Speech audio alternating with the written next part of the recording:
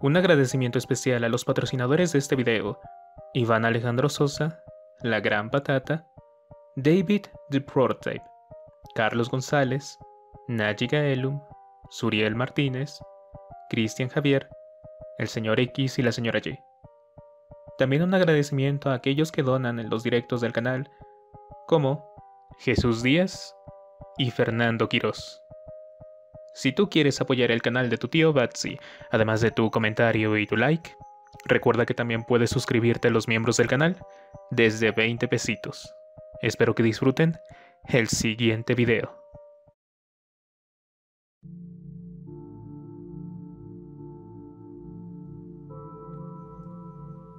¿Qué onda, qué onda mis niños? ¿Cómo están?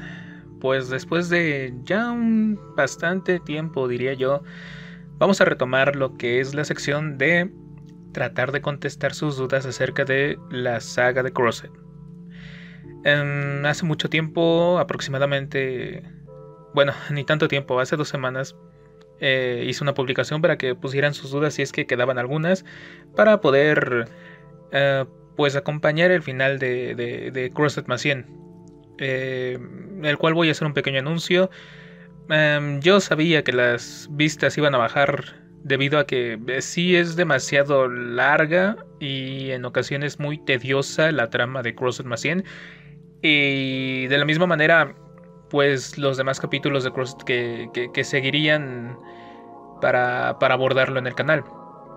De cualquier manera, yo voy a seguir subiéndolos pero sí les voy a dar una pausa ah, momentánea, mm, al menos un intervalo de, entre una semana entre capítulo y capítulo para ah, pues tratar de darle un poquito de, giro al, concepto de Crosset y que eh, bueno no se harten tanto de las historias que lleguen a faltar.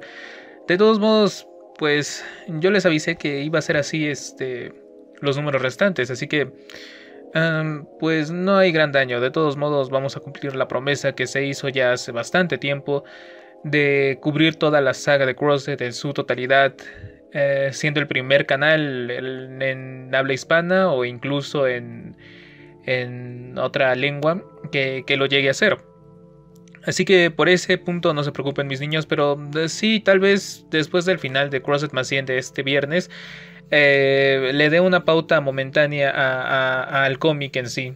No es que no vayamos a abordar temas de Crosset eh, los domingos, ya que pues hay bastantes teorías que quisiera abordar, así como diferentes temas, y pues tratar de diseccionar em, las características positivas y negativas de algunos protagonistas que hasta cierto punto pueden ser muy complejas para que pues nos quedemos solamente con el retrato que se nos pinta en las historias del arco en las que o los que llegaron a ser partícipe.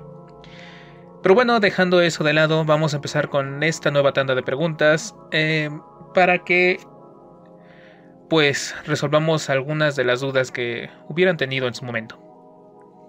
Empezamos con Lucio Staponi.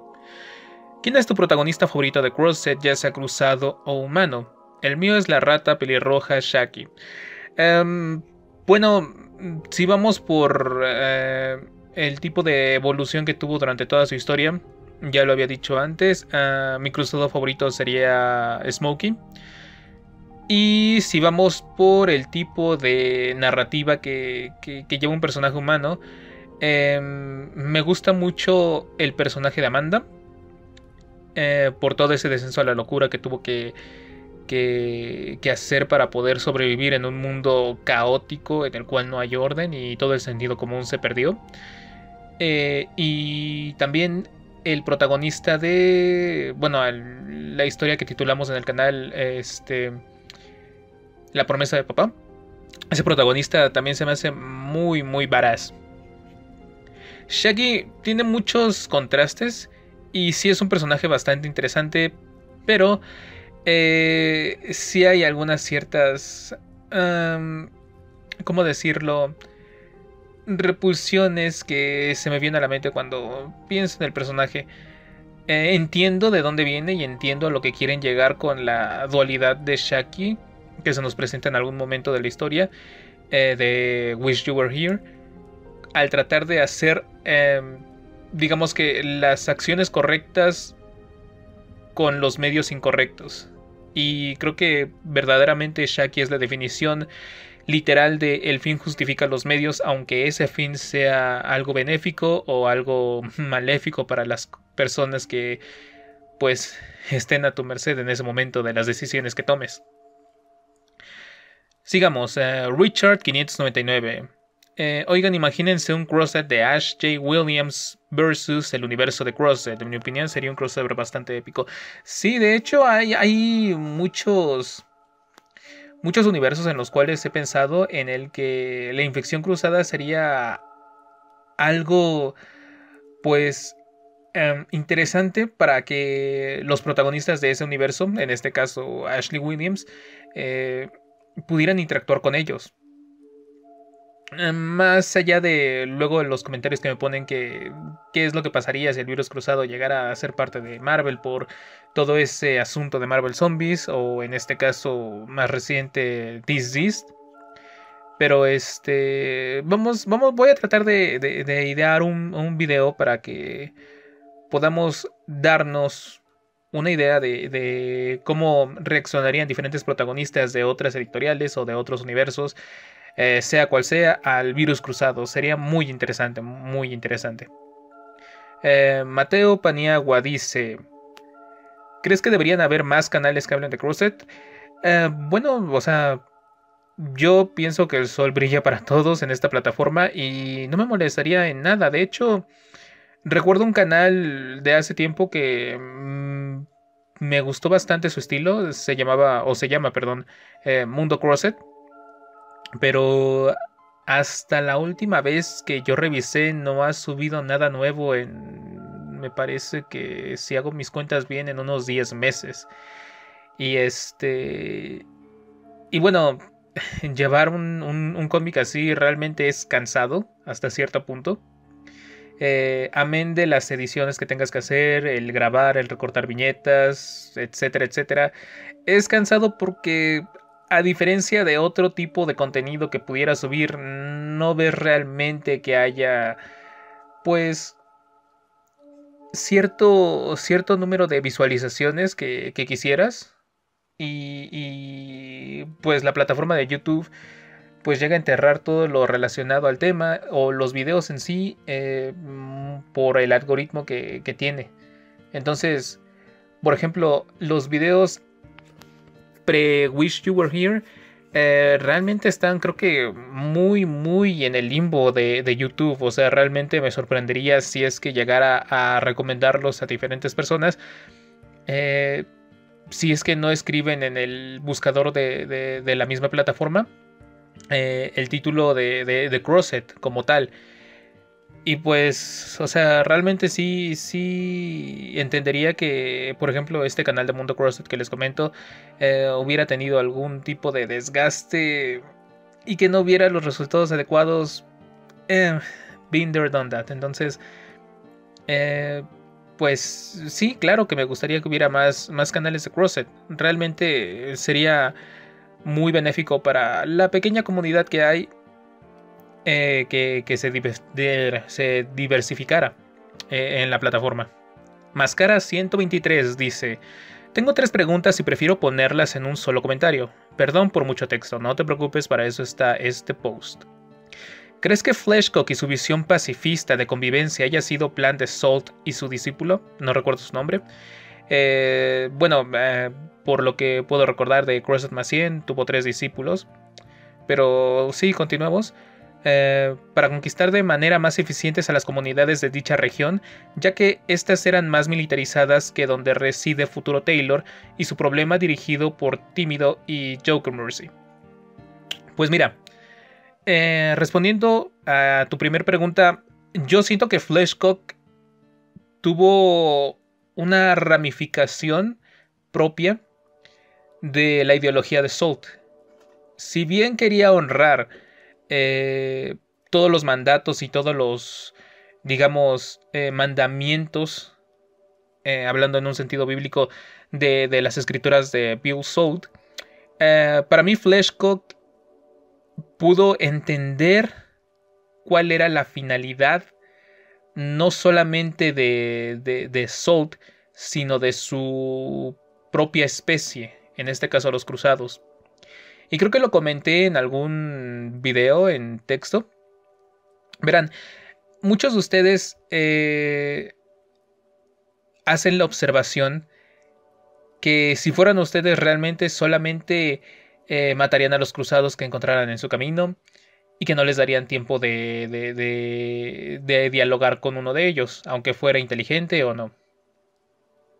Y que los cruzados en ocasiones, los más inteligentes, eh, llegan a ser un poco tontos, por así decirlos, por no subyugar a la población que tienen enfrente, eh, como ya lo vimos en algunas, eh, perdón, en algunos asentamientos de Crosset Macien. Pero hay algo que deben de recordar. Depende de la situación de la presa, el depredador se va a adaptar a dicha presa.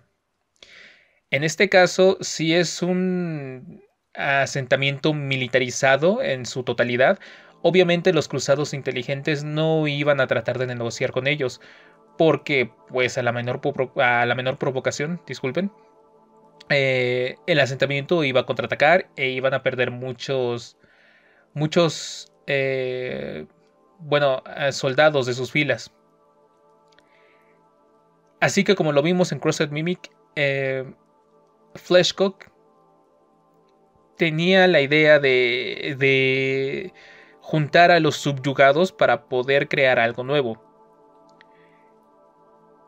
Realmente no siento que sea totalmente algo que Soul tuviera querido. Yo siento que para esto eh, nos ponen en contraste la segunda cargo después de Fleshcock, que está más rejega a solamente dialogar y a darles más privilegios y más espacios a lo que consideraría ganado, tanto ella como Fleshcock. Eh, más que volver a su estado primitivo y a sus instintos eh, que la enfermedad cruzada pudiera llegar a florecer en ella, eh, yo digo que también estaba tratando de, de ver o de lograr esas esas visiones que tenía Fleshcock del futuro. Porque como también lo podemos ver en Crosset Macien, Fleshcock estaba actuando y planeando para que los cruzados simplemente llegaran a devastar lo que quedara del planeta. Y si bien no quiero spoilear el final de Crosset Macien, em, hay algo por el estilo que Pew Salt quería que se puede relacionar con la visión de Fleshcock. Eh, Fleshcock, mm, yo siento que por la convivencia que pudo llegar a tener con, con la archivista Julie, se humanizó un poco más y pudo empatizar mejor con, con, los humanos que todavía no habían sido infectados, dándoles privilegios y dándoles el derecho de, de poder determinar el futuro que, que, ellos pudieran eh, ejercer o tratar de tener, a diferencia de, por ejemplo, eh, los cruzados de el asentamiento de Futuro Taylor, que ellos ponían sus condiciones a los asentamientos pacifistas y devastaban totalmente cualquier asentamiento militar que se cruzara en su camino, eh, sin darle privilegio a ninguno de los, digamos, civiles que hubiera en ese lugar. Así que, mm, bueno, es un video que también estoy planeando, pero sí, yo dividiría, yo dividiría perdón, eh, la ideología de Fleshcock, la ideología de Pew Salt y hasta cierto punto la ideología de Smokey, que voy a tratar de poner esas tres, eh, esos tres grandes ejemplos en el siguiente video del próximo domingo. Su segunda pregunta dice, a todo esto, ¿cuánto tiempo considerarías que debería transcurrir para fundar algún asentamiento en Crosset? En The Walking Dead, conforme pasaban los años, habían más comunidades, pero quizás porque los caminantes eran fuertes únicamente en número, o al estar cara a cara con una persona solitaria. Woodbury era un pueblito que resistió desde el principio y Alexandria fue fundada casi al principio por un senador del gobierno. En Crosset hay varios intentos, pero todos caen donde estaba Shaki, Nuevo Paraíso, fundada por los Pratt, ese asentamiento de católicos en American Creators. En Crossed 100, Futuro Taylor cuenta que su abuelo vivió la sorpresa y que perteneció a una tribu antes de unirse a Choga. Supongo que la humanidad retrocedió tanto en un punto que los grupos habrían derivado en tribus nómadas formadas por supervivientes veteranos y su descendencia antes de ser asimilados por alguna comunidad medianamente armada y autosuficiente. Pero, ¿en qué época habrían surgido estos asentamientos, lo suficientemente resistentes para sobrevivir por más de 100 años? Esa es una excelente duda y voy a tratar de desminuzarlo en pequeños puntos hasta que lleguemos a los asentamientos más fuertes. Verán, si bien hay algunos puntos en los que en cualquier tipo de apocalipsis, llámese zombie, llámese en este mundo de Crossed, eh, tendrías una mejor posibilidad de cuidarte solamente a ti mismo en lugar de estar cuidando a otras personas eh, la convivencia y el socializar y el tener alguien en quien apoyarte es la base fundamental de cualquier eh, población, sin importar sea grande o chica. Así que los grupos eh, pequeños debieron de haber perecido durante la primera etapa de la sorpresa, como lo pudimos llegar a ver en el cómic original de Crosset, donde todo ese grupo de supervivientes iba siendo diezmado poco a poco, ya fuera por sus diferencias eh, ideológicas en cuanto a lo que era correcto e incorrecto o en cuanto a la diezmación, perdón, en cuanto a la diezmias, y disculpen, estoy muy trabado en la lengua, eh, o de la muerte que, los cruzados les, pudieran dar a cada uno de ellos durante el transcurso de eh, su camino hasta las partes más recónditas del norte. En donde, bueno, ya eh, recordarán que eh, el clima frío era como, como un lugar un poco más accesible para... disculpen, para, para los supervivientes, o al menos esa era la idea. La diferencia que hay en Crossed y en The Walking Dead, como bien lo dices, es que los caminantes solamente en un número bastante grande eh, llegan a representar un peligro. Por ejemplo, en la última temporada de, los Whisperers, Whispered, perdón, este, pudimos ver que Beta llevó a todo un grupo de caminantes a Alexandria para, hacer que salieran todos los habitantes de ahí.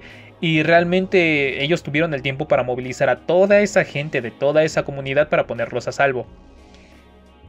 A diferencia de Crosset, que sus infectados son demasiado rápidos, durante el transcurso del tiempo se hicieron más inteligentes y por sobre todo que la infección, si bien es contraída de manera similar, ningún caminante te va a empezar a tirar fluidos o sangre o saliva de cualquier tipo si, si, si es que te encuentran en, en una distancia cercana.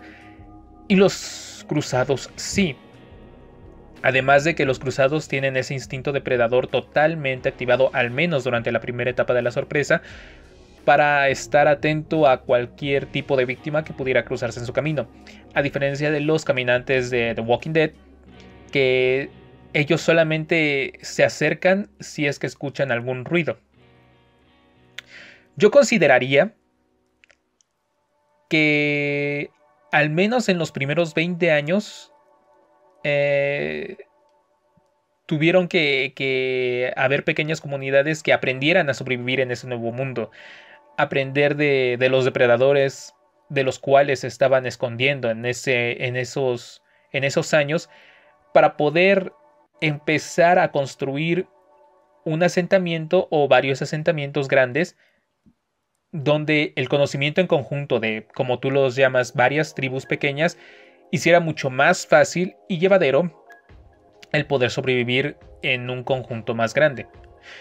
También no debemos olvidar que durante estos años eh, fue cuando toda la, la dinastía, digámoslo así, de Bill Salt se quedaron escondidos o, mejor dicho, aislados, tratando de aprender a controlar sus impulsos. Esto, sin embargo, no representa ni siquiera creo eh, el 80% de los cruzados totales. Por lo que de cualquier manera eh, los supervivientes que empezaron a hacer asentamientos pues tenían que lidiar con ellos. Yo diría que al menos 5 décadas, 50 años sería lo conveniente para empezar a levantar ese tipo de asentamientos. Una y dos, que, que tuvieras en cuenta qué tipo de asentamiento es al que te vas a unir. Por ejemplo, ya hablamos de los pacifistas y los militarizados.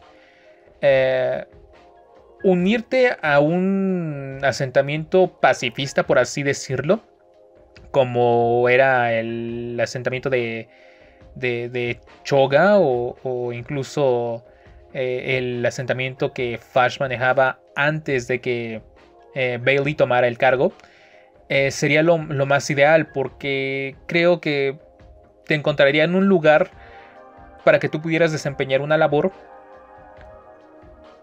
que estuviera adecuada a, tus propias a, tus propias habilidades. Como en su caso podemos compararlo con el reino en The Walking Dead. Pero, si es que llegas a un asentamiento militarizado, tus prioridades no van a ser nada importantes para los, digamos, fuertes y los que van a imponer sus propias reglas. En este caso podríamos compararlo con lo que hacía Negan en el santuario. Em, al final la unión hace la fuerza.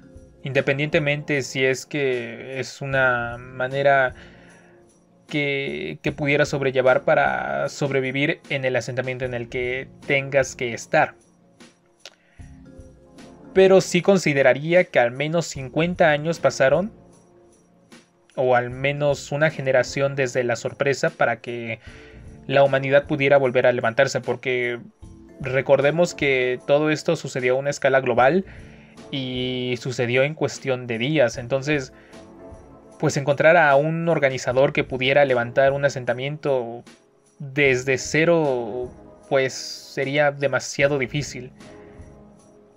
Y no olvidemos también que hay diferencias eh, en, el actuar de, las personas que pudieran estar en el asentamiento. Por ejemplo, eh, en, Cava, donde estaba Shaki.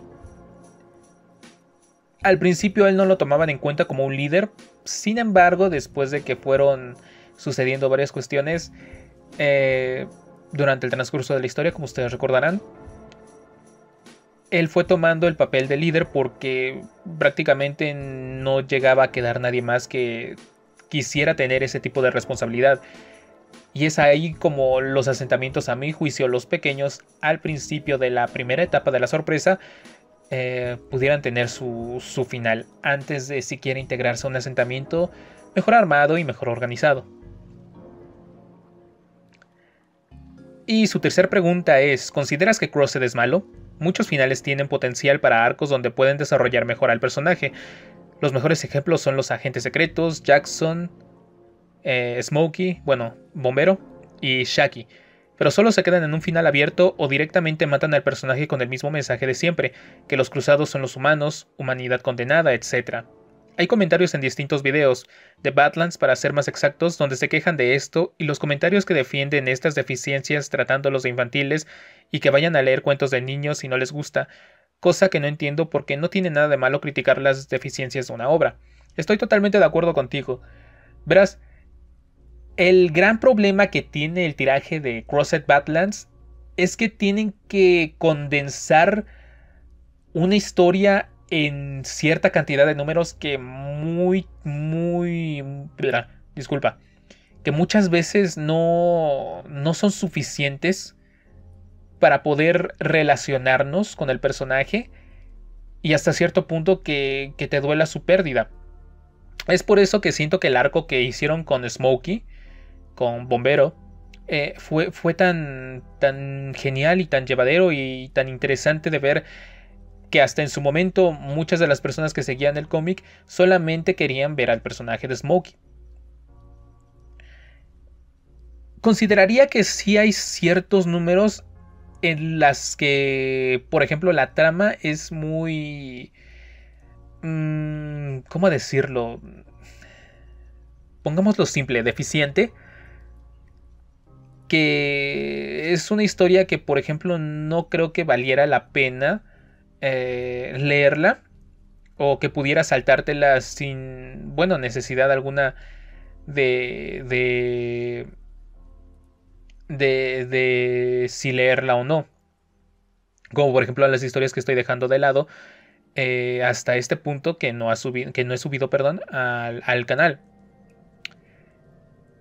Otra de las cosas que siento es que cada autor tuvo su, su, su, momento para poder entrar en ese en ese mundo de Crossed Badlands, o bueno, perdón, en ese tiraje, mejor dicho, y no les dieron un tiraje completo para que pudieran representar totalmente su obra.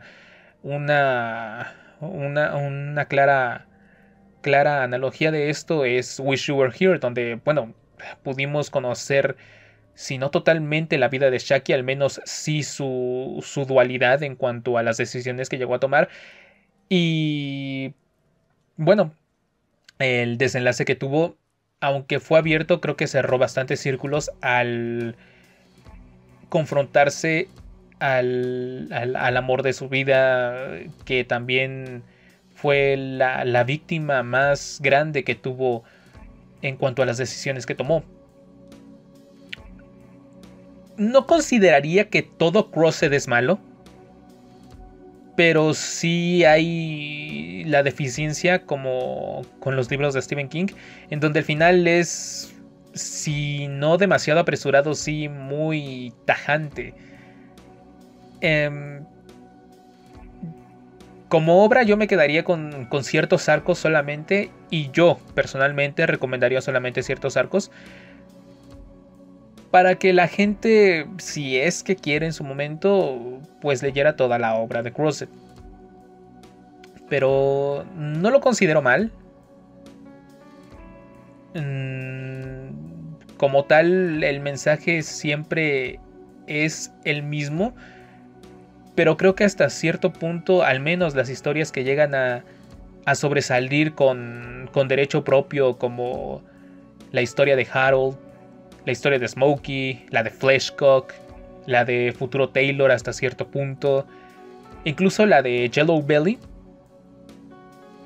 em, retratan, si bien que los malvados son los humanos y no los cruzados, por así decirlo, la diferente, las diferentes clases de, de maldad que puedes tener en diferentes tipos de persona como por ejemplo con el Yellow Belly, eh, la, la, la, la, manía de, de ser no, no participativo, que, que, seas un cero a la izquierda y que dejes simplemente las cosas pasar por conveniencia o por cobardía tuya.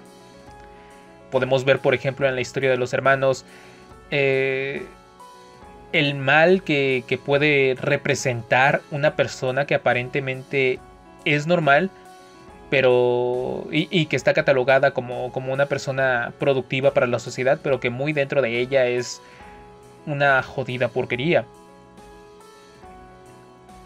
Entonces, no creo que sea malo, de nuevo lo repito, pero sí me quedaría solamente con ciertos arcos de, la, misma, de la misma obra en su totalidad.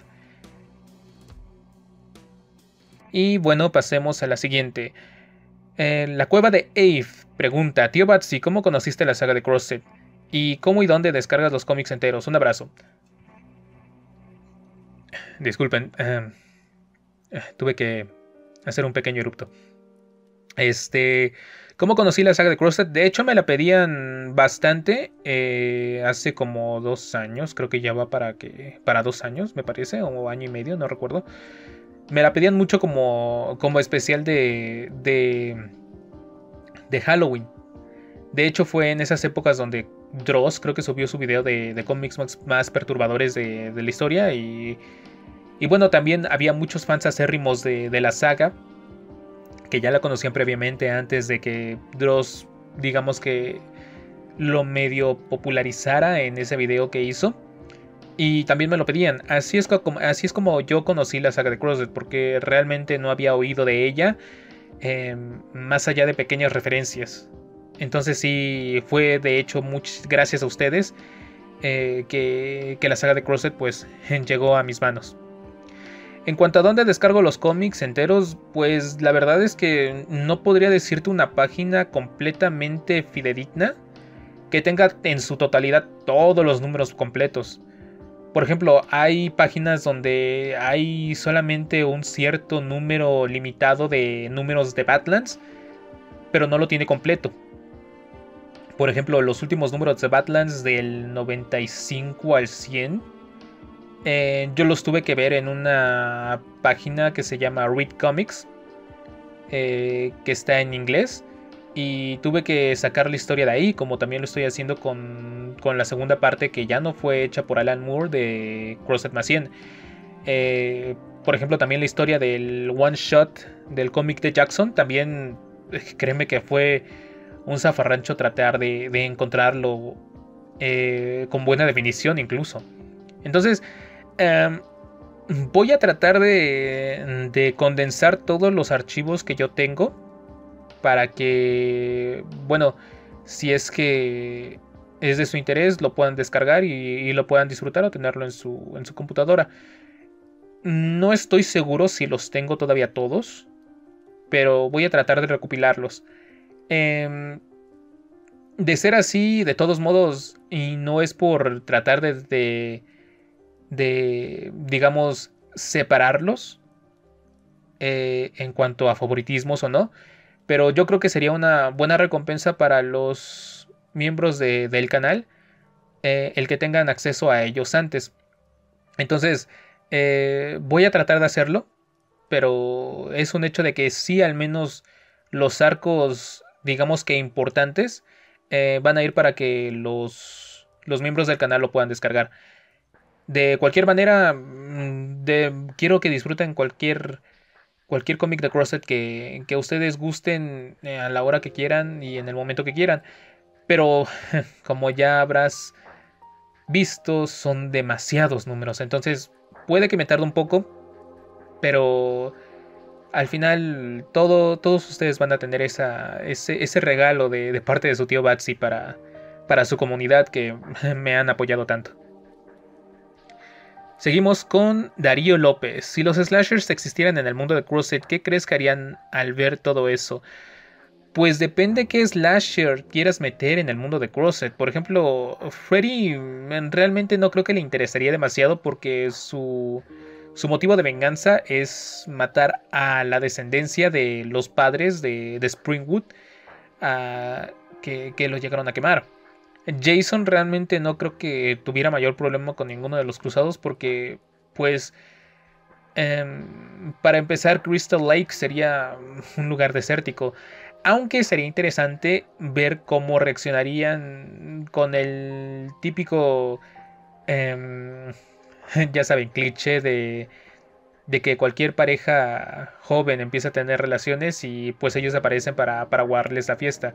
Y pues sabiendo que los cruzados solamente viven para eso, al menos en la primera etapa de la sorpresa, mm, sería interesante ver cómo reaccionarían en cuanto al cliché de los, de, de, los elementos de las películas de terror.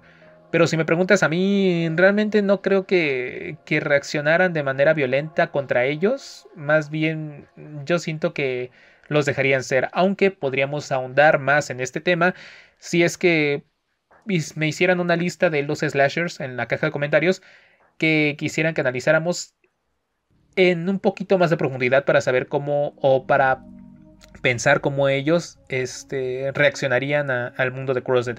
También les hago la invitación cordial para que dejen sus propias teorías y bueno, tal vez en un futuro no muy lejano podamos retomar ese tema como un video propio.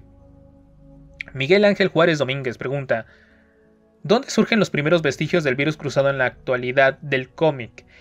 Realmente, en la época moderna en la que denominamos la sorpresa, eh, no hay como que primeros vestigios, fue como, como un, un boom de, de, la infección que se hizo simultáneamente en todas partes del planeta.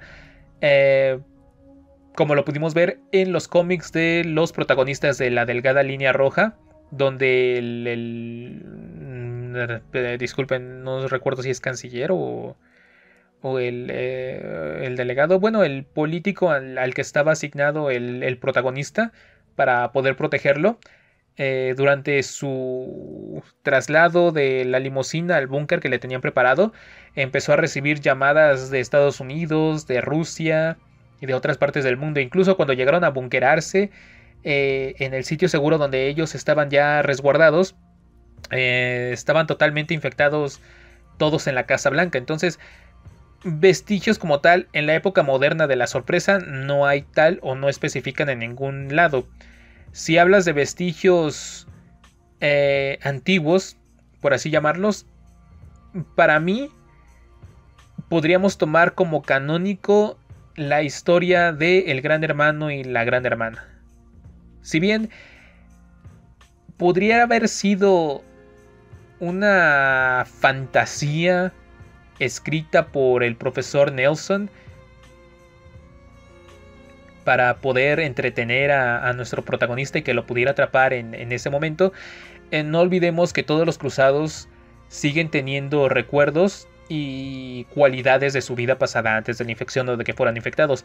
Y el profesor Nelson totalmente estaba muy informado acerca de esta tribu de sangre, como él los denominaba, para, para poder explicar qué pasó con esa tribu que, que se autolimpió. Disculpen por el vocabulario, pero tengo muy arraigado ya todo ese, ese tipo de, de habla de Crosset Macien. Pero bueno, este. No olvidemos que el profesor Nelson estaba completamente letrado en el tema. Entonces, yo consideraría canónico ese, ese origen del virus cruzado. ¿Por qué fue? ¿Cómo fue? ¿Y de dónde surgió? Realmente podríamos abordarlo también en otro video. Si es que ustedes lo desean así, por favor háganmelo saber en la caja de comentarios. Sami Yugi dice, señor Batsy, ¿cuándo seguirá con la historia de Amanda? Muchos saludos. Esa es una excelente pregunta. Este, no, o sea, créanme que hacer la historia de Amanda para mí no sería mayor problema. Sin embargo, creo que eh, Annie Touchdown, y creo que ustedes también van a secundarme totalmente, le da esa voz a Amanda que el personaje, bueno, solamente ella le puede hacer justicia al personaje a estas alturas del partido. Sí voy a terminarla, pero necesito que también Annie Touchdown esté totalmente libre para que nos pueda apoyar en las voces de, de ese cómic. Em, realmente, pues, como ustedes podrán imaginar, ella tiene una vida fuera de su canal de YouTube, al igual que yo, así que sería cuestión de tratar de hacernos un tiempito para que podamos seguir con la historia, pero sí, esa historia de Amanda se va, se va a, realizar y a completar. Trataré de que sea lo más pronto posible, pero pues como ya les dije, eh, depende de Annie Touchdown y realmente pues no quisiera eh, abrumarla con, con este tipo de peticiones.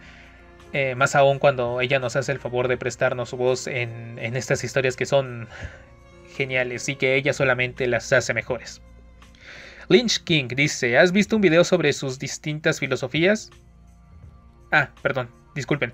Haz un video sobre sus distintas filosofías. Sí, de hecho es el siguiente video del próximo domingo. No este domingo, sino dentro de...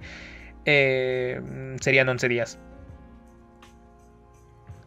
Andrés Lazo dice, el asesino de la guía telefónica, eh, Bill Salt, sin duda fue siempre el cruzado más peligroso. Terminó jodiendo a la humanidad hasta varias décadas después de su muerte. Sí, de hecho ese era el plan que tenía desde un inicio. Él no quería que los cruzados se enfrentaran uno a uno a los humanos porque iba a ser em, pues una causa perdida. No iba a proliferar un culto como él lo quería en ese momento, así que pues prefirió, como ya lo vimos en su diario, eh, esperar 50, 60, 70 años tratando de iletrar a sus acólitos para que pudieran seguir con lo que denominamos su legado. Mariano Mercado dice, en Crossed más 100, ¿cómo crees que haya cruzados entre las filas de Salt que anhelan más poder o tengas planes de regresar a sus viejos hábitos autodestructivos? Ok, si entiendo tu pregunta. Este, sí creo que haya ciertos cruzados que quieran regresar o que quieran más que nada entregarse a esos instintos de, deseo carnal, pero por ello es que Bill Salt hizo a sus tenientes y a sus acólitos más inteligentes para que pudieran controlar este tipo de comportamientos. Y para que ellos mismos les pudieran dar fin a esos cabos sueltos que pudieran representar un peligro para toda la ideología de Bill Salt. Sigue, sé que Salt hizo una cría selectiva, pero si algo sabemos del virus es que no se puede controlar por más que uno intente, solo va a empeorarlo más. Un ejemplo son el virus de la saga de Resident Evil, pero nos enfocaron en las películas ya que ahí sí hubo consecuencias por jugar con fuego y el mundo sí que terminó jodido. Las películas realmente yo no las tomaría como un ejemplo fiable para, para representar eso. Pero bueno, pasando al tema, este, no, de hecho, el virus cruzado lo único que ha seguido haciendo, eh, al menos en la historia con el paso de los años, es evolucionar hasta el punto en que los infectados llegan a perder incluso todo, todo instinto de, de, de acción carnal o de agresividad. Claro, Obviamente ese instinto sigue latente adentro de, sus entrañas, digámoslo así. Y que se van a activar con, bueno, una, un, estímulo. Pero yo creo que los cruzados son el ejemplo perfecto de que puede haber una sociedad mejor si es que se enfoca a, esa, esa, finalidad eh, eh, el ser humano, o en este caso los cruzados. Un ejemplo de ello perfecto es la hija adoptiva de, de Futuro Taylor. Santiago Ramillo Tobón dice, hola tío Batsy, yo tengo una duda, es que Bombero al empezar toda la infección lo vimos antes como los cruzados que eran médicos y Smokey no se veía tan grande y fuerte, pero luego lo vemos después en la ciudad haciendo de las suyas y ya como bombero y se ve más grande y fuerte y mi pregunta es si ese es el mismo bombero o era otro cruzado. También la otra pregunta es, ¿dónde sería un buen refugio si empezara la infección cruzada? Bueno, eh, las diferencias que pueda haber entre un cómic a otro de Smokey se resuelve y te lo puedo responder muy fácil porque es el tipo de ilustración que está haciendo el, artista en ese momento. Como podrás imaginar, hay diferentes artistas que trabajaron en el tiraje de Badlands, así como también en el tiraje de, de Crossed Macien y de muchos otros en el cual, bueno, el arte que manejan o el diseño de personajes que manejan es diferente. Por eso en algún punto puedes llegar a ver a Smokey eh, un poco más estilizado, un poco más grande, un poco más musculoso o un poco más delgado, pero sigue siendo totalmente el mismo personaje. Y si empezara una infección cruzada, realmente... Mmm, mira, eh, poniendo en, en, en, en ejemplo Hey, se me olvidó el, el, video que, que iba a decir. Ay, Dios mío, ¿cómo lo pude haber hecho yo y se me olvidó? Bueno, em, si te quedas aislado en algún cuarto o en alguna casa, en un departamento, tarde o temprano los cruzados van a encontrarte porque em, ellos tienen la facilidad de poder, pues, eh, tener movilidad y tener recursos para poder alimentarse y tú no por estar escondido. Entonces, la mejor opción que yo podría decirte es un campo abierto, un campo donde no haya civilización o lo más mínimo de civilización y pues tratar de, levantar barricadas para que no te agarren desprevenido los cruzados que llegaran a bueno hasta ese lugar donde pudieras estar tratando de resguardarte. Luis Fernando. En el capítulo de Crosset donde buscan el origen fue verdad o no, y si fue verdad que detuvo a los cruzados, eh, como ya lo dije, yo considero que sí, que el profesor Nelson estaba en lo correcto y que eso podemos ponerlo como un, eh, un posible origen canónico del virus cruzado. Y lo que lo detuvo es que ya no hubo mm, personas que lo diseminaran en, el planeta. Eh, tengamos en cuenta de que en la época antigua las tribus estaban separadas y que realmente tenían que viajar em, en, la historia de Crosset un, gran, una gran distancia para poder llegar a cierto punto. Eh, la prueba está que cuando capturaron a, nuestros protagonistas de esa tribu, eh, tuvieron que pasar días para que llegaran al lugar de residencia del gran hermano y la gran hermana. Poniendo también en contexto de que hay muchas otras eh, especies naturales que pudieron diezmar a los cruzados de ese momento, ya que recordemos que los animales no contraen la infección de los cruzados en sí. Así que en el video anterior eh, coloqué como, como fondo del video y como portada también eh, la, tribu de los hermanos de sangre eh, peleando con una especie de gorilas. Entonces, los depredadores naturales, además de que no hubo ya vehículos para la infección que pudieran diseminar durante su estancia en, en, el planeta antiguo, este, yo creo que fue el, el alto que, hizo que no se diseminara la infección hasta nuestros tiempos. Elner JR dice, hola, ¿qué tal? Con todos deberíamos crear un grupo de WhatsApp para hablar de Crosset. Eh, lo pensé, lo pensé en su momento y no es por tampoco discriminar mm, o darle favoritismo a, los que son este, miembros del canal o, que no aprecio que ustedes apoyen los videos con su vista, su like y su comentario. Pero es difícil para mí tratar de darles una recompensa a, los que, bueno, tienen, tienen la posibilidad de apoyarme en, en, ese, en ese rubro específico. Entonces, este, no sé si vaya a ser un grupo de Whats como tal, pero muy posiblemente tal vez un Discord, en donde si bien no tengamos, no podamos tener interacción diaria, al menos sí, por ejemplo, poner un día a la semana, una hora específica donde puedan, podamos interactuar de, manera un poquito más este, personal, ustedes y yo, y que puedan dejar también teorías y temas que eh, sean referente al mundo cruzado. Mauricio S. dice, dentro del universo Crosset, ¿quién crees que ganen, los humanos o los cruzados y por qué? Em, si vamos a, números y a organización, eh, los cruzados, ya sea por una u otra razón, siempre van a tener la ventaja, aunque sea un asentamiento militar, el que estén tratando de, invadir. Eh, la única manera en que yo creo que los humanos pueden ganar a largo plazo es que, pues, encuentren un grupo cruzado como el de Fleshcock y que sigan esa ideología de poder emerger juntos. Porque al final la decadencia de las dos especies va a ser inevitable. Eh, tal vez los cruzados duren un poco más porque son un poco más organizados y, tienden a seguir mejores, de, perdón, de mejor manera las órdenes que los, los cruzados superiores les dan a los inferiores. A diferencia de los asentamientos humanos en donde hay diferentes tipos de disputas y discordancias, en las que puede llegar a presentarse conflictos internos que ahora sí que desde adentro eh, sean los que diezmen a esa comunidad. O sean al menos la pequeña aguja en el pajar para que empiece a, tener fallas esa comunidad en cuanto a su organización y, y su bueno estilo de vida.